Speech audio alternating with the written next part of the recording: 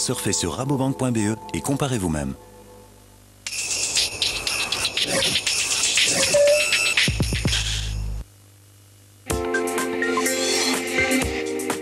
Ce jeudi soir sur la 2, la lucidité et la dérision de Simon Polaris alias Jean-Pierre Bacry. Ensuite, l'info en 12 minutes, puis dans Décibel, la vie et la carrière du King. Bonne soirée sur la 2.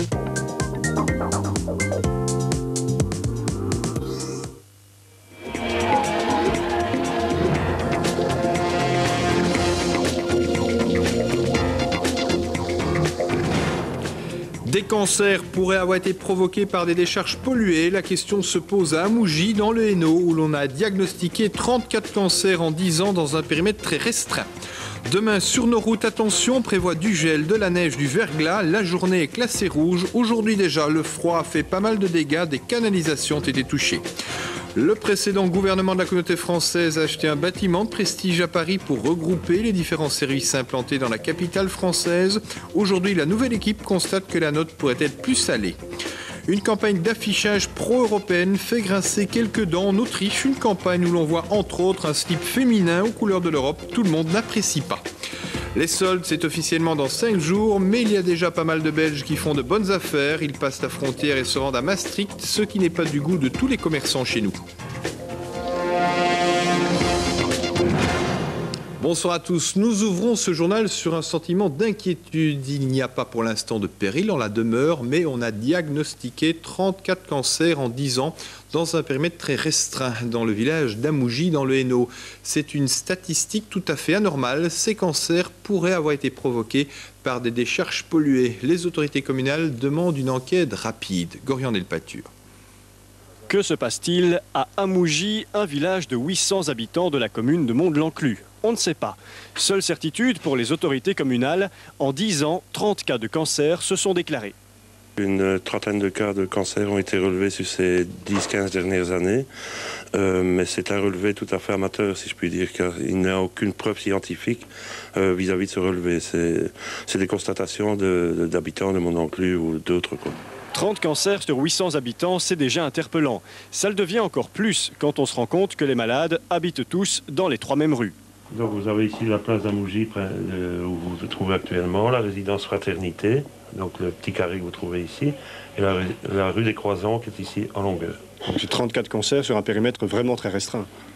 Un périmètre de, oui, donc euh, sur ce périmètre-ci, oui. Des décharges, il y en a eu à Amougy, notamment ici il y a plusieurs dizaines d'années. C'était la décharge communale, normalement sans danger. Mais durant les années 90, on y a aussi brûlé et enterré des fûts indéterminés. C'est cet homme qui a pris ces photos. Eh ben, on voit de loin l'emplacement du feu. Alors les tonneaux, le dépôt de tonneaux avec tête de mort orange qui se trouvait parqué ici. Et ensuite bien le feu mais est-ce la cause des cancers recensés? On ne le sait pas. C'est une, source potentielle de, pollution, mais euh, on ne peut absolument pas affirmer qu'il y a une pollution et qu'il y a des incidences sur la santé. Et donc c'est pour ça que nous demandons l'aide de, spécialistes pour éventuellement écarter euh, une piste qui serait stérile. Les ministres wallons de l'Environnement et de la Santé ont été prévenus. La police de l'environnement devrait venir enquêter dans les semaines qui viennent. La commune va demander une enquête médicale sérieuse et vérifier les permis d'environnement des usines aux alentours. Alors seulement, on saura s'il se cache quelque chose sous le sol d'Amougy. À quelques jours de l'échéance du 31 décembre, des distributeurs de mazout proposent encore de livrer le mazout avec la réduction de 17,35%. Mais à partir du 1er janvier, cette réduction s'est terminée. Le seul recours possible sera un échelonnement de la facture. Il suscite une levée de bouclier de certains distributeurs de mazout. Lucie Dendoven. Pas de trêve des confiseurs chez ce distributeur de mazout. Ces bureaux crépitent d'appels téléphoniques. Et pour cause, ils proposent à 500 clients refusés par leur fournisseur habituel surchargé de livrer le mazout avec la fameuse réduction de 17,35%. Nous avons fait glisser du transport des stations-service vers le mazout. Et donc de ce fait-là, nous avons la possibilité d'offrir à nos consommateurs finaux la réduction de 17,35% jusqu'au 31 du 12 pour des nouveaux clients. Chez cet autre négociant mazout, les mines sont plutôt grises. L'arrêté royal qui fixe le droit dès 2006 d'échelonner sa facture mazout sur 12 mois avec un acompte de 25% seulement Clairement, ça ne passe pas. Les clients nous payent à 12 mois ou en 12 fois. Euh, ce n'est pas raisonnable. Il faut savoir que nous devons payer les compagnies pétrolières, on va dire, à 15 jours, voire 3 semaines, date de facture au plus tard. Sinon, on ne reçoit plus de produits. Donc, euh, dans un système pareil, on servirait de banque. Nous ne sommes pas la banque Rothschild, voilà ce que disent en substance les distributeurs de mazout. D'autant plus qu'ils n'auront même pas la sécurité de domicilier les factures. Pour la Fédération belge des négociants en combustible, cette mesure gouvernementale favorise les gros distributeurs qui ont les reins financièrement solides.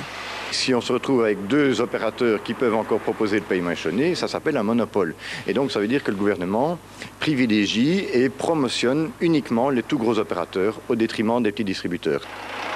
La Fédération des négociants combustibles ne compte pas en rester là. Elle a intenté un recours au Conseil d'État contre cet arrêté royal. Les distributeurs envisagent même de manifester en rue, comme ils l'ont fait en septembre dernier. Une bonne partie du pays s'est retrouvée sous les 0 degrés aujourd'hui. Une baisse de température qui a causé pas mal de problèmes aux canalisations d'eau. C'est vrai pour les particuliers et vous allez le voir, pour les canalisations publiques aussi. François Mazur. Le gel et surtout le dégel qui lui succède ont d'abord de fâcheuses conséquences sur les conduites d'eau extérieures. Quand le dégel euh, agit, il agit sur la terre, la terre bouge un peu, il suffit d'un tout petit glissement de terrain et il y a une cassure au niveau de, de la conduite. Cet ouvrier doit alors intervenir là où la surconsommation d'eau indique qu'il y a une fuite. La difficulté est de localiser la fuite car les canalisations sont souterraines. Des capteurs sont placés aux deux extrémités du tuyau. La technologie fait le reste. On a placé un capteur au départ et en sortie et on regarde s'il y a un bruit anormal sur la conduite. Ici on a un léger bruit, se situe où? Plus ou moins à 33 mètres du capteur euh, qu'on a mis ici. Allons-y. À nouveau, notre chercheur de fuite revêt un drôle de stéthoscope. Comme un docteur, il ausculte le sol. Le temps, la neige, est-ce que ça, ça, change des choses pour écouter? Est-ce que ça, ça, rend plus difficile l'écoute? Oui, en fait, le sol est gelé, donc ça fait un peu comme une couche de béton et ça isole le bruit s'il y a fuite en dessous, donc ça isole encore un peu plus fort le bruit que d'habitude.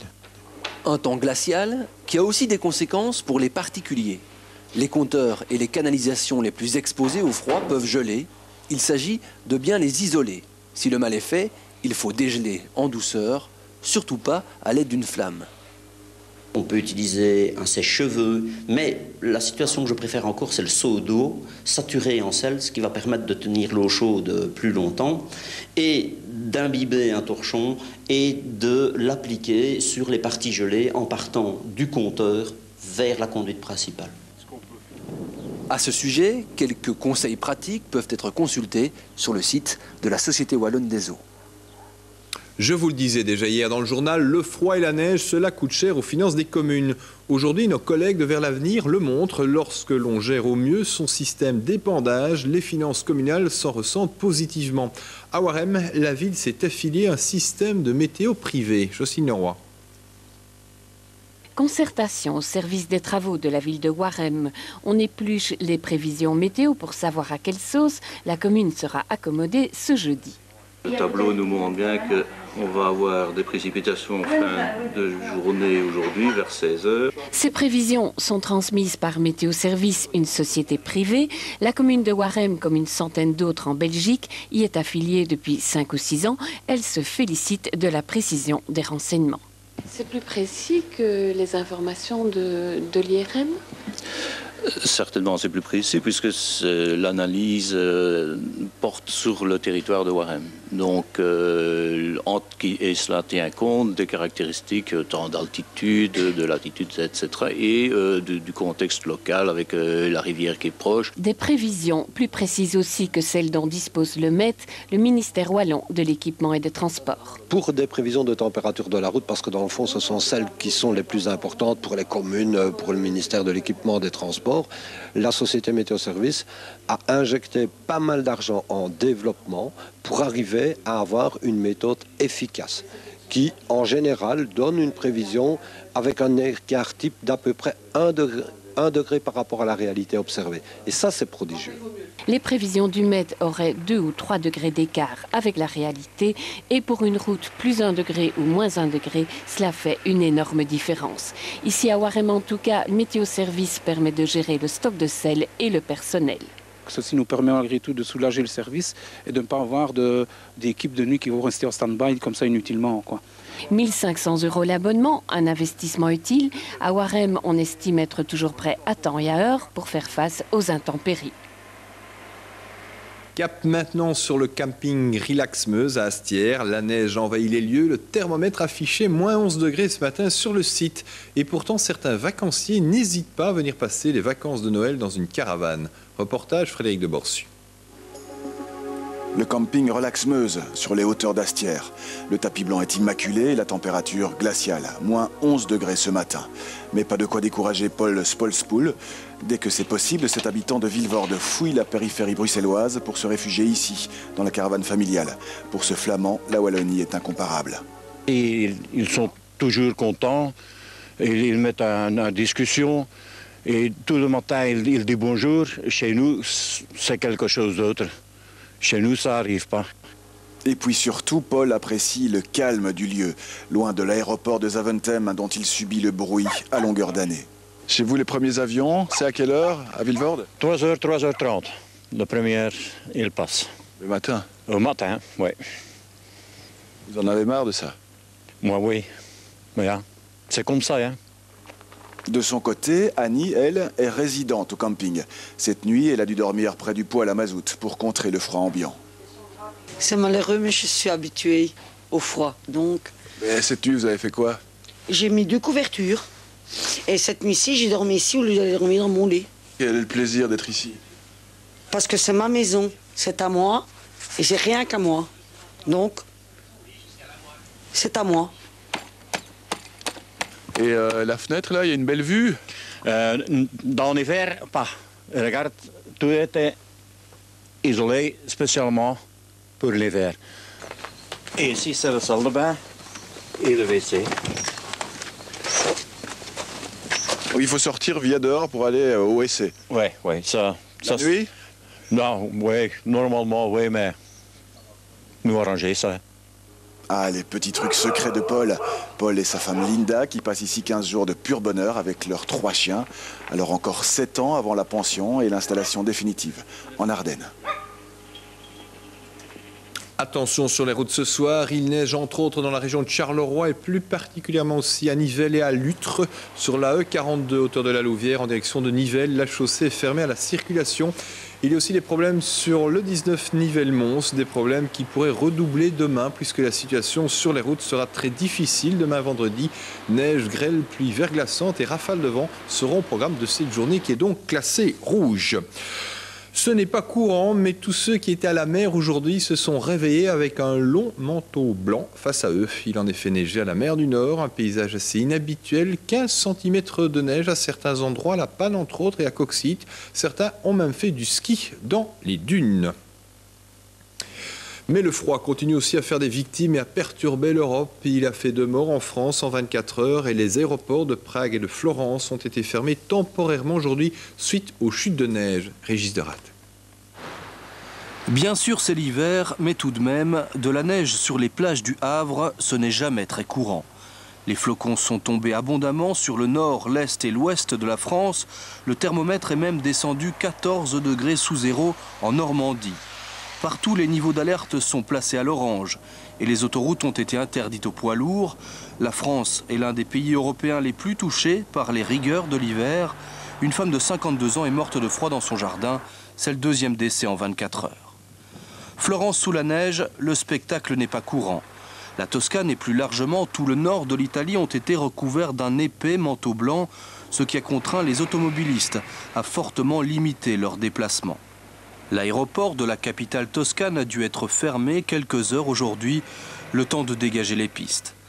Même cas de figure à Prague, où les candidats au départ pour des destinations lointaines ont également dû ronger leurs freins. 50 vols ont été annulés à l'aéroport tchèque et tout le réseau routier et ferroviaire du pays est toujours très largement perturbé. L'Allemagne a géré les abondantes chutes de neige sans plonger dans le chaos redouté. Seuls quelques accidents mineurs de circulation sont enregistrés à l'heure actuelle. Les trains, eux, roulent tout à fait normalement. Terminons par le survol du pays de Sa Royale Majesté. Des images que l'on n'a pas souvent l'habitude de pouvoir admirer, des étendues enneigées à perte de vue, jolies mais très froid. Il a fait jusqu'à moins 11 degrés en Écosse. Et à propos de météo, ce qui suit n'a rien à voir avec ce qui s'est passé ces derniers jours, mais 2005 pourrait figurer au deuxième rang des années les plus chaudes jamais enregistrées. L'Organisation météo mondiale confirme le réchauffement de la planète. Frankistas. La calotte glaciaire du pôle Nord fond de plus en plus vite. Au Groenland, elle perd 40 cm chaque année. Ce sont là des signes supplémentaires qui prouvent, si c'était encore nécessaire, que notre climat se réchauffe pour de bon. L'année 2005 euh, est une des années les plus chaudes du siècle et un demi-degré à peu près plus chaude que, la moyenne 1960 euh, à 1990. Toute une série d'événements ont aussi montré euh, à quel point nous étions dépendants du climat avec le, cyclone Katrina, des inondations dans une bonne partie de l'Europe, en Belgique aussi. Et donc le climat est bien en train de se réchauffer, c'est bien documenté et c'est suite à la pollution des activités humaines. Des scientifiques tentent déjà d'établir des prévisions car ce réchauffement climatique va entraîner des modifications sur notre planète. Et il faut bien avouer que l'avenir ne s'annonce pas sous les meilleurs auspices. En 50 ans, la température va augmenter d'un degré et demi, ce qui provoquera une hausse du niveau marin de 40 cm. C'est beaucoup, oui, parce que c'est plus que ce que la température a augmenté sous l'effet de l'homme depuis la révolution industrielle. C'est à peu près le double. Donc, euh, vous voyez, vous pouvez déjà faire la différence. Un siècle contre 50 ans. Et ça ne va faire que croître et embellir, malheureusement, si on ne prend pas les mesures qu'il faut. Et même si on prend ces mesures, ça prendra un certain temps avant que les effets s'en fassent sentir, malheureusement. Il sera difficile d'enrayer le processus du réchauffement de notre planète, alors profitez de la neige qui tombe actuellement parce qu'elle risque de se faire beaucoup plus rare dans un futur proche. Le brouillard intense qui est tombé en début de matinée sur la région de Charleroi a empêché quatre avions d'atterrir à l'aéroport. Il s'agissait d'avions en provenance de Dublin, Gérone et Rome. Trois vols ont également été annulés. Le trafic a pu être rétabli en début d'après-midi. Il y a eu malgré tout quelques retards. Voilà donc des images de l'aéroport de Charleroi. Plus de 200 000 plaintes contre le plan de dispersion de ont été enregistrées en 2005 et Bruxelles National devient ainsi l'aéroport qui génère le plus de plaintes au monde. C'est pratiquement 5 fois plus qu'en 2004. Les réclamations émanent aussi bien des habitants que des communes. Hubert Mestré. Fini le temps où pour déposer une plainte, il fallait poster une lettre. Aujourd'hui, tout se fait par email. Un site mis au point par les riverains de l'aéroport indique en permanence les résultats des sonomètres. Hier, par exemple, en rouge, tous les avions qui ont dépassé les normes de bruit autorisées. Il fallait bien s'organiser. Ce plan de dispersion nous massacre carrément tous les week-ends, ne tient plus compte la sécurité, etc. Et les gens devaient quand même avoir un moyen d'introduire facilement des plaintes. C'est toujours quelqu'un qui est derrière l'ordinateur, ce sont des plaintes vraiment individuelles.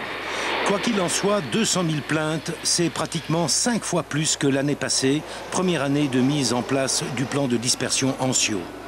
Les gens en ont marre. Ils ont vraiment voulu montrer par ces 200 000 plaintes qu'il est temps d'arrêter ce plan de dispersion et de prendre des décisions qui sont quand même un peu plus sages. J'ai vu, euh, avec le temps que nous avons eu dimanche, des avions qui passaient à 150 mètres. C'est un bruit incroyable, mais en plus, euh, dans un brouillard, euh, on, on frémit. On se dit un jour, on va avoir une catastrophe. Les riverains attendent le prochain jugement de la Cour d'appel le 4 février dans l'espoir de voir lever le plafond des astreintes pour les avions en infraction on ouvre enfin la porte, non plus à une limitation de 50 millions, qui a déjà été, fait l'objet de saisie de bâtiments, mais euh, on va évidemment avoir la possibilité d'obtenir plus de 1 milliard 200, 250 millions d'astreintes si on se base sur les plaintes euh, qui sont en cours. Ils espèrent ainsi que la pression créée poussera le fédéral à enfin régler ce problème. Et le ministre fédéral de la mobilité Ronald Landdeut relativise ce chiffre de 200 000 plaintes. Pour lui, le nombre réel de plaignants est beaucoup moins important. Chacun d'entre eux peut en effet renouveler la démarche autant de fois qu'il le souhaite, ce qui explique, selon lui, ce chiffre important. Et à propos d'aéroports, ou plutôt d'aérodromes, l'un des plus vieux du pays se trouve à quelques mètres à vol d'oiseau de Bruxelles National. C'est l'aérodrome d'Arren. La région a décidé de ne pas introduire de procédure de classement. La région bruxelloise s'apprête à donner l'autorisation de démolition des bâtiments de cet aérogare. Les pétitions signées en 2003 et l'avis des experts de la Commission royale des monuments et sites ne changera rien à cette démolition. Au chapitre judiciaire, une nouvelle technique criminelle semble faire des émules en province de Namur. Elle consiste à prendre un banquier en otage pour qu'il ouvre ses coffres. Ce matin encore, le gérant de la banque ING de son bref s'est fait délester de plusieurs dizaines de milliers d'euros de cette manière. Le phénomène prend de l'ampleur dans le Namurois. C'est le quatrième vol de ce type en quelques semaines. Des problèmes se posent aussi dans la région de Charleroi. Bernadette Goffinet.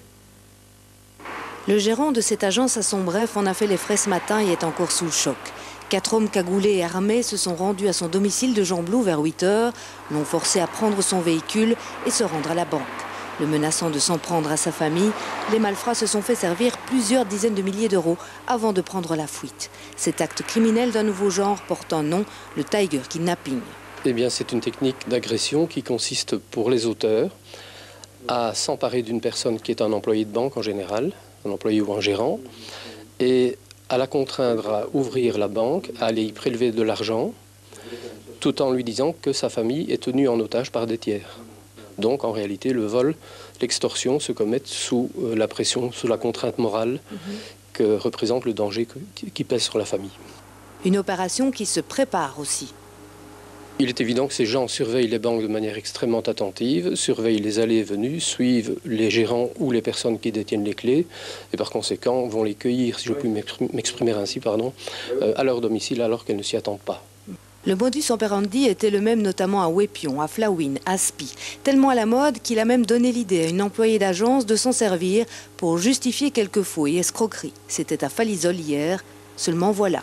Il y a eu beaucoup d'incohérences qui ont été constatées directement par les enquêteurs, qui ont prolongé euh, leur enquête jusque tard dans la nuit.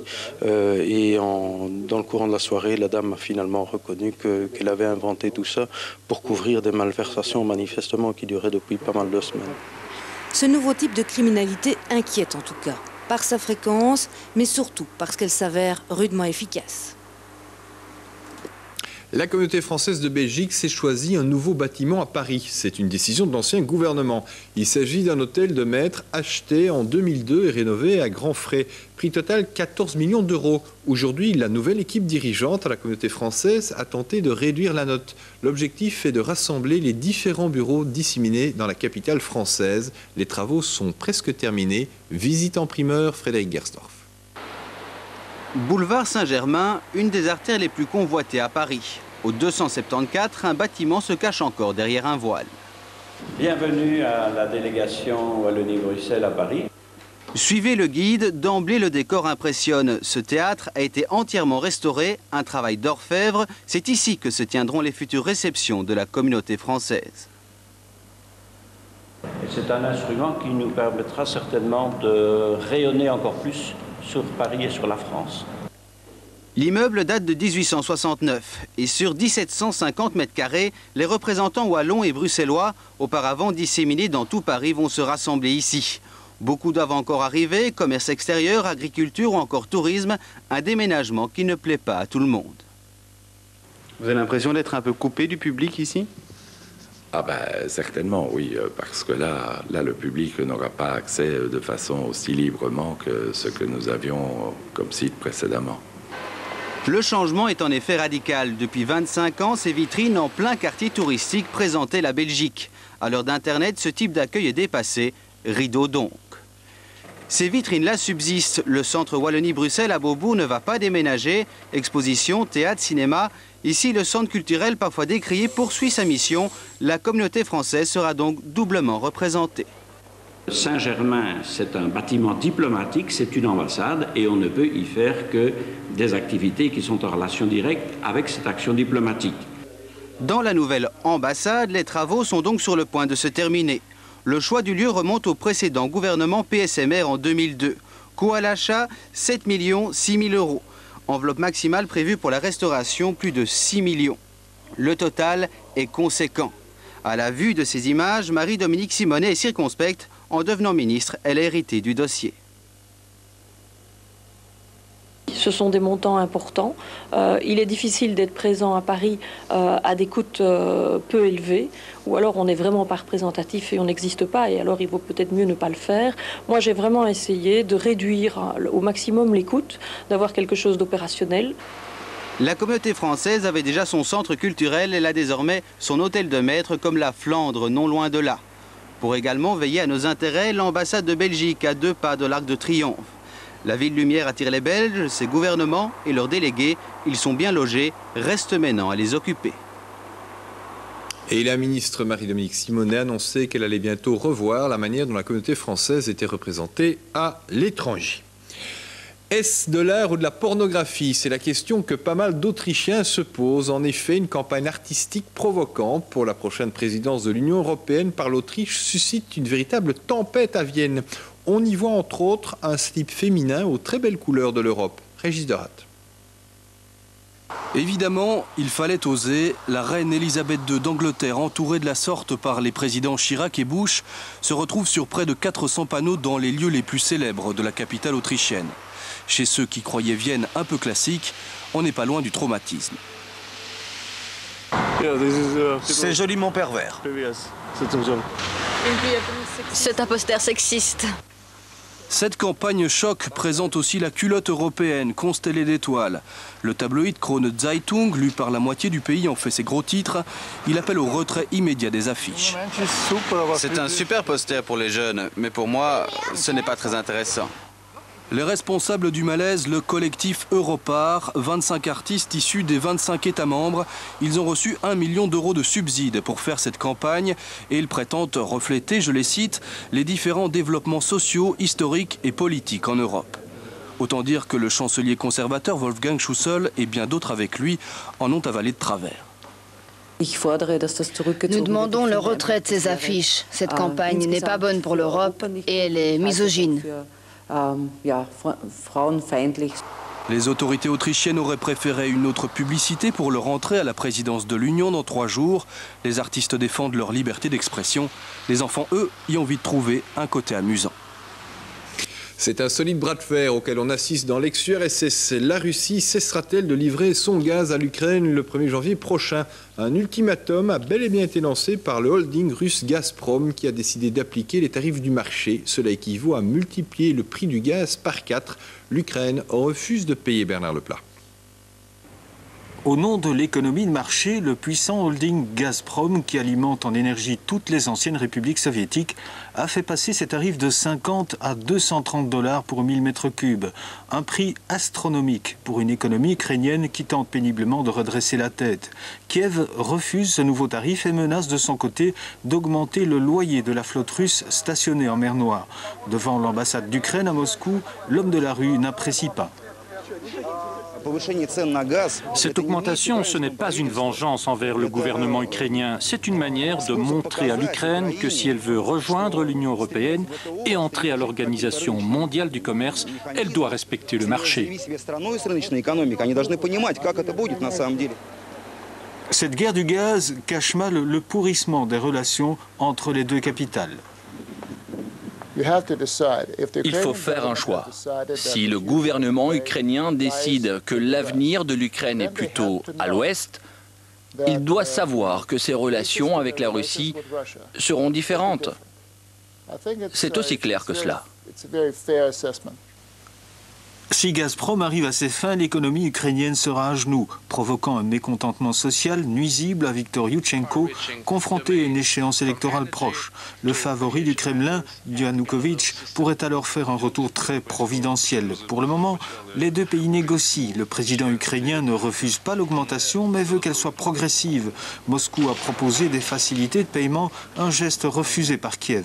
La crise révèle en tout cas l'ampleur du fossé qui sépare les deux capitales. Elle force peut-être aussi Viktor Yushchenko à accélérer un peu plus encore le rythme de ses réformes. Très net regain de tension Proche-Orient. Des hommes armés ont tiré tout à l'heure sur la résidence de Mahmoud Abbas, mais le président palestinien ne se trouvait pas sur place. Et puis deux Palestiniens ont été tués dans un attentat suicide qui a coûté la vie à un soldat israélien dans le nord de la Jordanie.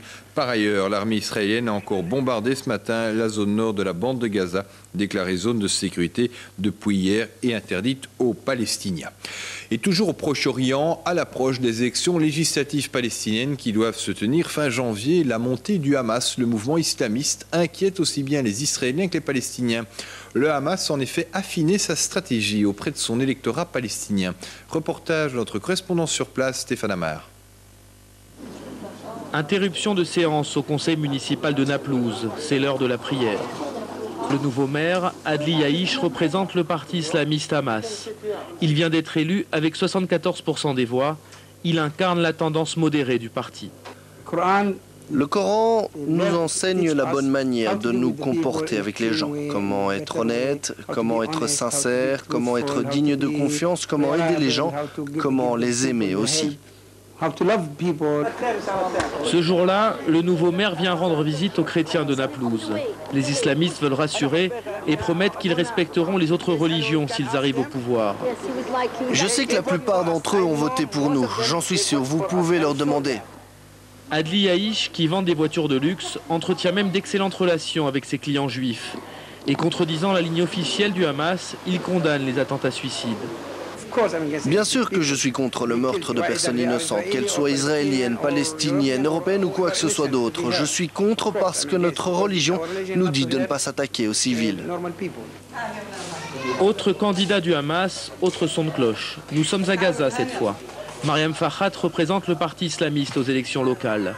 Sa popularité, elle la doit à trois de ses enfants qu'elle a encouragés à aller se faire exploser en Israël. Quand ils sont partis, je savais que je ne les reverrais plus. Mais je savais aussi qu'ils allaient vers une vie meilleure. La militante se dit prête à envoyer tous ses enfants à la mort jusqu'à ce qu'il ne reste plus un juif en Palestine, dit-elle. En attendant, elle reçoit régulièrement de l'argent du Hamas pour nourrir sa famille. Mariam Fahad et Adli Haïch représentent deux tendances opposées au sein du Hamas. Mais depuis que le mouvement islamiste remporte des élections, les modérés gagnent du terrain. Les dirigeants du Hamas ont plusieurs fois déclaré ces derniers temps qu'ils étaient prêts à reconnaître Israël et même à engager des négociations avec lui. Ce parti est en pleine mutation. Fin janvier, les Palestiniens vont voter pour élire leurs députés. Le Hamas pourrait bien l'emporter. Une hypothèse qui fait frémir aussi bien le gouvernement israélien que palestinien. Chez nous, il faut encore attendre cinq jours avant de pouvoir profiter des soldes. Et pourtant, certains Belges en profitent déjà. Il suffit de traverser la frontière et de se rendre jusqu'à Maastricht aux Pays-Bas, là où les soldes battent déjà leur plein. Les commerçants chez nous ne sont pas très contents. Olivier Badard. Calme commercial. À cinq jours des soldes, la période est dite de protection pour nos magasins. La loi est stricte, elle interdit même d'annoncer ou d'afficher le terme solde. 20 km plus loin, Maastricht, la néerlandaise. Le contraste est frappant. Petit coup d'œil sur les plaques minéralogiques pour très vite se rendre compte que la bonne moitié des clients sont belges, pour la plupart limbourgeois et liégeois.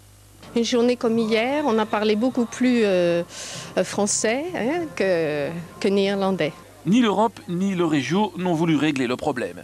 Et si les commerçants liégeois se plaignent, d'autres se frottent les mains puisque les Français, par exemple, commencent leur rabais après nous. L'uniformisation est souvent réclamée de part et d'autre. Depuis des années, donc, les commerçants liégeois souhaitent qu'on uniformise cette fameuse loi, de, euh, loi belge de 1971 qui a été modifiée à plusieurs reprises. Mais le souhait, c'est bien sûr que, de, surtout pour les pays voisins comme les Pays-Bas, la France, l'Allemagne, voire l'Angleterre, euh, choisissent les mêmes dates. C'est un problème européen, on qu'à se mettre tous d'accord, hein, puisqu'on se met bien tous d'accord quand il s'agit de la finance, et eh bien qu'ils se mettent tous d'accord pour les commerçants. Hein. Ça, moi, ne demande pas mieux, moi. Hein. J'aime autant aller faire mes achats chez nous, mais si je ne trouve pas, je ne vois pas la raison pour laquelle je ne viendrai pas ici à Maastricht. Les Néerlandais, soumis à aucune loi en la matière, estiment logique de brader en période de fête. Freiner l'attrait de nos compatriotes pour le paradis des pourcentages et des demi-prix n'est pas chose évidente. Certains parlent pourtant de protection du marché local à développer, un peu comme les Français qui achètent par principe des véhicules de marque française. Mais là, chez nous, on est plutôt loin du compte. Il reste encore quelques heures pour les achats de dernière minute avant le réveillon. Si vous êtes en panne d'idées, sachez que les farces et attrapes ont toujours la cote. François Lizen a mené l'enquête, il nous dit tout sur les gadgets qui font rire. Bienvenue dans un des temples de la bonne humeur. Ici, pas de doute, il y a tout ce qu'il faut pour bien terminer l'année. Dans les rayons, il y a déjà un air de fête. La Saint-Sylvestre s'annonce festive. Visiblement, c'est une grosse fête qui se prépare. Oui, oui. Qu'est-ce que vous faites pour le réveillon? Je travaille dans une taverne et on organise un menu et une soirée. Donc, il faut quoi pour que la soirée soit réussie? Confetti, euh, serpentin, pétard. Budget prévu 150 euros. Les classiques serpentins et cotillons gardent donc la cote. Les feux d'artifice rencontrent eux aussi un grand succès. Les Bruxellois aiment visiblement s'amuser. Ils essayent de trouver plus d'accessoires parce que c'est pas évident de faire la fête sur commande. Donc on cherche toujours euh, un accessoire, un petit quelque chose en plus qui mettrait une ambiance. Et la reine de l'ambiance, c'est sans conteste Lisette. Elle connaît tous les trucs qui marchent et les gadgets indémodables. Le mieux en farce et attrape, c'est en premier lieu le péto, c'est-à-dire le coussin qui fait des proutes. Les adultes adorent, les enfants adorent. Le bruit ressemble vraiment? Oui, oui, oui, écoutez ça. Le coussin péteur se vend tellement bien qu'il est en rupture de stock. Le deuxième article à la mode est dans le même goût. Le caca, bien sûr.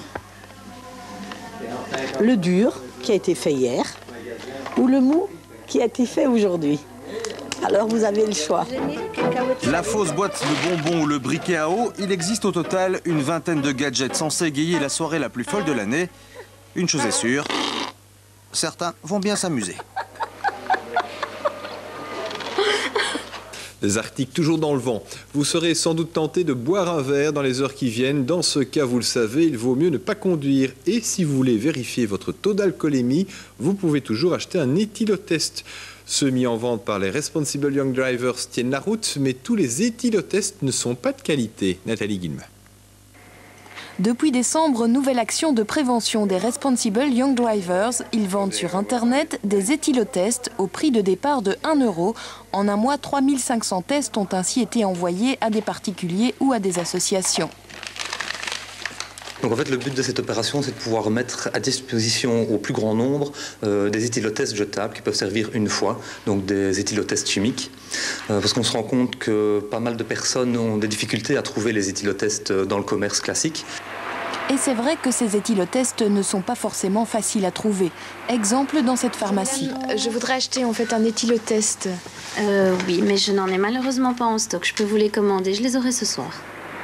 Permettre à tous de vérifier son taux d'alcoolémie très bien à condition que les tests soient fiables pour prendre la route sans risque. Et là, il faut être prudent. Testachat estime que 9 éthylotests sur 10 sont beaucoup trop imprécis. Dans un certain nombre des, appareils testés, les modes d'emploi sont lacunaires. Euh, donc euh, il faut, normalement, tous les modes d'emploi font référence à une période de 15 minutes, une période euh, d'abstinence, de ne pas fumer, de ne pas chiquer, de ne pas reboire évidemment un verre. Mais il y a un élément important, c'est qu'il faut au moins attendre une heure pour avoir une mesure valable. Et ça, c'est très important de le rappeler euh, dans ce cadre-ci. Et malheureusement, les modes d'emploi ne le, ne le soulignent pas ou ne le soulignent que trop peu. L'instrument vendu par les Responsible Young Drivers est lui heureusement des plus fiables, à recommander à ceux qui ne veulent prendre aucun risque face aux éthylotests professionnels cette fois. Et l'histoire, pour terminer le journal, l'homme que vous allez voir avait 20 ans lors des Jeux Olympiques d'hiver en 76. À l'époque, il avait plutôt raté son coup, pas de médaille.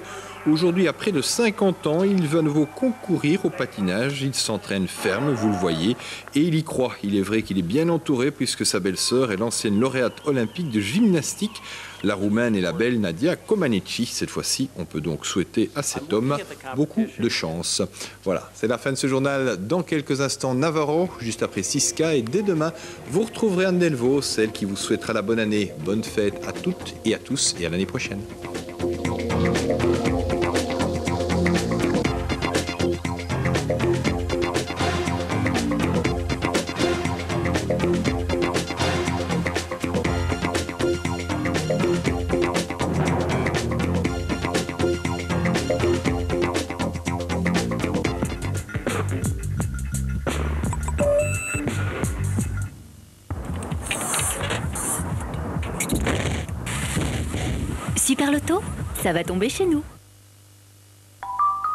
Si vous lavez mal vos vêtements en laine, ils ne seront plus comme avant.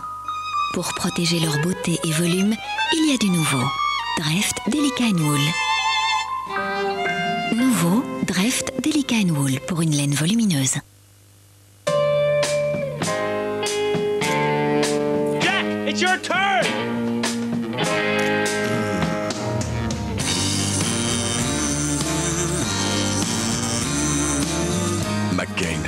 C'est ceux qui en parlent le moins qui les aiment le plus. Délicieuse fête avec Home Croquette. Alors, c'est comment? C'est bon, mais c'est chaud, hein. Mais c'est bon. C'est comme ça qu'on les mange, hein Mais comment t'as fait ça, toi qui sais rien faire? Ah, c'est gentil, merci. Tac, tac, tac, tac, tic tac, tic tac, tic tac. Alors, t'as compris pourquoi c'est chaud? Non. Je rigole. Nouvelle pâte à cookies. Erta, le goût des choses simples. Corinthe et Mégare demandent de l'aide à Sparte. Apprends l'histoire en t'amusant avec Il était une fois l'homme, la fameuse série en DVD. Le numéro 1, le DVD et le fascicule, 3,95€ seulement. La première présente. Il y a un siècle, Albert Einstein allait tout chambouler. Des fondements de la physique à la compréhension de l'univers. E is equal mc square. Une vision révolutionnaire à découvrir dans une expo interactive dès le 15 décembre à Tour et Taxi, avec le soutien de Sud Presse, Le Soir, Le Vif et Télé Bruxelles. Ni post-it, ni papier, pas d'éclairage design. Les photocopieuses, les vitres blindées finies. Salle de réunion, adieu. Chauffage, 10 étages, coupé. Chez rabobank.be, vous ne payez pas pour des agences coûteuses, parce que nous sommes une banque Internet. Voilà pourquoi vous recevez en permanence un taux élevé pour votre épargne, avec un taux de base qui s'élève à 2,75%, soit plus du double des grandes banques. Surfez sur rabobank.be et comparez vous-même. Avec mon pinceau géant, je lui peins la tête en jaune. Et là, je vois la moto de mon père dans son garage. Sa vieille 750 qu'il adore. Je prends une clé anglaise, et là, j'éclate son réservoir, je frappe, je... Barjo de moto, vous aussi Alors collectionnez les statues du Joe Bar Team sur leur moto de légende. Et découvrez Moto Joe Bar Team, le fascicule de référence pour les dingues de moto. Le numéro 1, Edouard Bracam sur sa Honda 750, 2,95€. Une exclue Joe Bar Team. À mardi.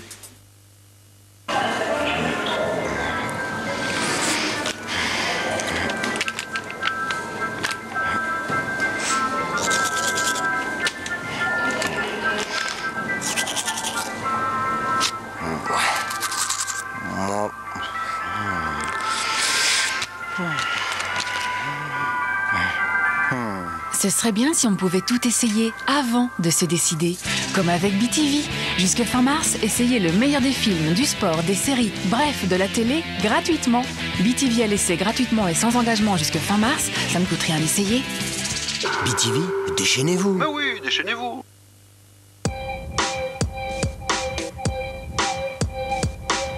Vous appelez plutôt vers des postes fixes? Ou vous appelez plutôt vers des numéros Mobistar Ou alors vous envoyez plutôt des SMS à tout le monde Dans tous les cas, c'est 0 cent. Devenez Mobistar avant le 31 décembre et choisissez dès maintenant vos minutes ou vos SMS à 0 cent. Mobistar.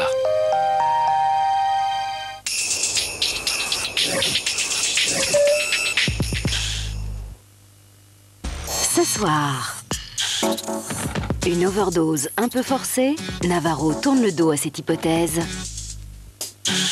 Faire simuler un coma à une proie, il faut être maître de soi, très cher Siska.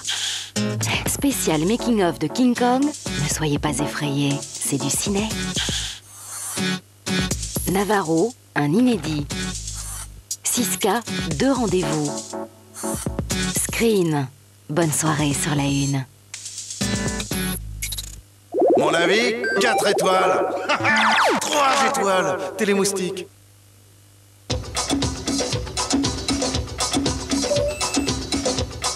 Chez certains, le choix de fin d'année, c'est ça ou ça. Chez Cora, Les fêtes, c'est ça. Et encore ça. Et puis ça aussi. Oui, chez Cora, le choix c'est la liberté et le plaisir de tout trouver sous le même toit. Parmi vos produits et vos marques préférées, un choix grand comme ça. Et toujours au prix le plus bas. La fin d'année garantie la moins chère, c'est aussi ça la liberté du choix. Cora, on n'a jamais vu choix et qualité si grand à prix si bas. Comment faire? Il a envie d'une pizza barbecue, elle d'une suprême, et vous de votre pizza favorite. La réponse est chez Pizza Hut. Avec la nouvelle et savoureuse Quattro, quatre pizzas séparées dans une seule boîte. Vous êtes deux ou trois Pizza Hut vous propose cet assortiment de quatre pizzas carrées, à la garniture chaque fois différente, et toujours une délicieuse pâte fine. Essayez la seule et l'unique Quattro dans l'un de nos restaurants Pizza Hut, ou savourez-la tranquillement à la maison. Et si on se partageait une pizza? Le 31 décembre, prenez le départ du Dakar. La RTBF couvrira la 28e édition de cet événement exceptionnel depuis le départ de Lisbonne jusqu'à l'arrivée le 15 janvier à Dakar. Retrouvez tous les jours dès le 31 décembre la Minute du Jour sur la 1 vers 19h25 et le magazine quotidien sur la 2 à 20h15.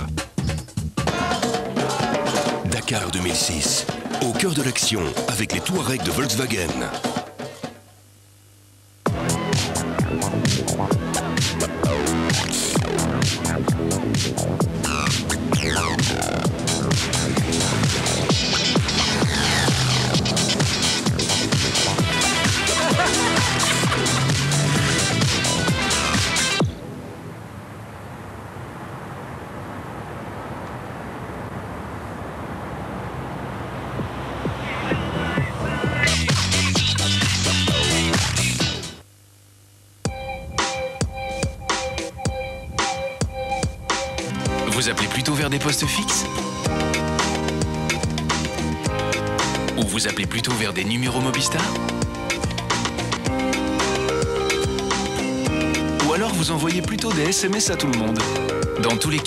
C'est 0 cent. Devenez Mobistar avant le 31 décembre et choisissez dès maintenant vos minutes ou vos SMS à 0 cent. Mobistar.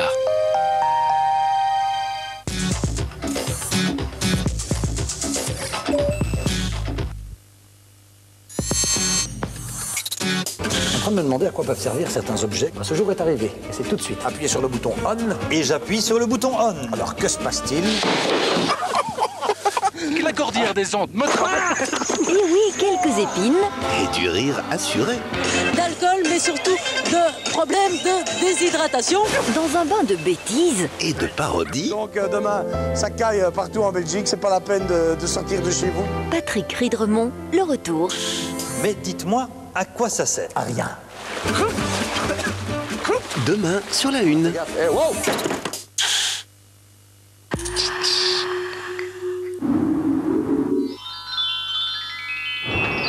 La chaleur de Noël avec Vandenborg et la météo.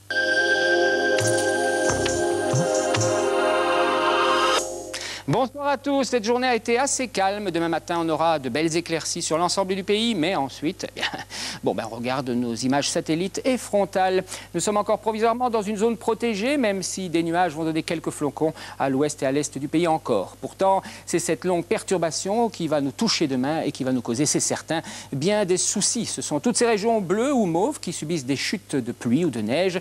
Et voilà où nous en serons demain vers 18h. Et puis toutes ces lignes resserrées vous montrent qu'il y aura pas mal de vent également. C'est pourtant de l'air chaud qui arrive à la place de cet air froid ici en bleu, mais les basses couches de l'atmosphère et le sol sont encore trop froids et la neige et le verglas sont donc à redouter. Enfin, les radars nous montrent l'ouest et l'est du pays qui est touché donc par ces chutes de neige par endroits. Et voici le grand méchant loup qui arrive pour demain. Enfin, ce ne sera pas si grave que ça si vous êtes prévenus en tout cas. Cette nuit, il fera encore froid. On garde plus ou moins les mêmes pictogrammes que cet après-midi, mais au cours de la nuit, le vent devient modéré et va chasser les nuages pour donner de belles éclaircies. Et un temps sec, mais froid. Regardez, moins 8 degrés à Elsenborn, moins 2 de l'autre côté à la côte. Demain matin, la perturbation va arriver entre 8 et 10 heures par la côte pour remplacer ces belles éclaircies d'en face. On aura également de la brume possible en Ardennes et il fera gelant partout. Et puis demain après-midi, la perturbation va envahir le pays pour toucher le centre puis l'est en soirée. On peut s'attendre à 5 ou 10 cm de neige. Tout cela dans un vent soutenu de secteur sud, avec des rafales à 60 km par heure. Puis du verglas sera possible également à partir de la côte. Bref, on peut penser, je pense, à prendre congé, non? La nuit de vendredi à samedi sera encore dangereuse sur les routes. Et samedi, il fera encore très nuageux, avec des averses ou de la pluie et de la neige sur les reliefs. Et le vent sera toujours assez fort. Dimanche, le temps sera variable et le vent va faiblir. Et lundi, le temps sera généralement sec, sauf sur les hauteurs. On aura toujours quelques flocons. Bref, une lente amélioration et des températures, vous le voyez, qui redeviennent positives. Et voici les éphémérides. Bonne fête au Roger quand décembre est froid, quand la neige tombe, en année féconde, tu peux avoir foi. Si cela peut mettre un peu de baume pour demain, excellente soirée sur la une. La chaleur de Noël avec Vandenborg et la météo.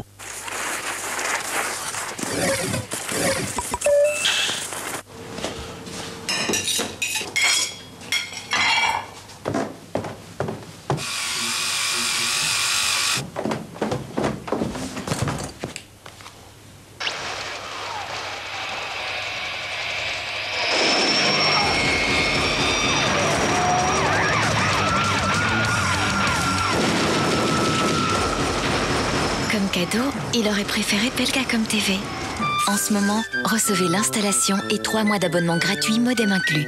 Contactez-nous. Chez certains, le choix de fin d'année, c'est ça ou ça. Chez Cora, les fêtes, c'est ça. Et encore ça. Et puis ça aussi. Oui, chez Cora, le choix, c'est la liberté et le plaisir de tout trouver sous le même toit. Parmi vos produits et vos marques préférées. Un choix grand comme ça. Et toujours au prix le plus bas.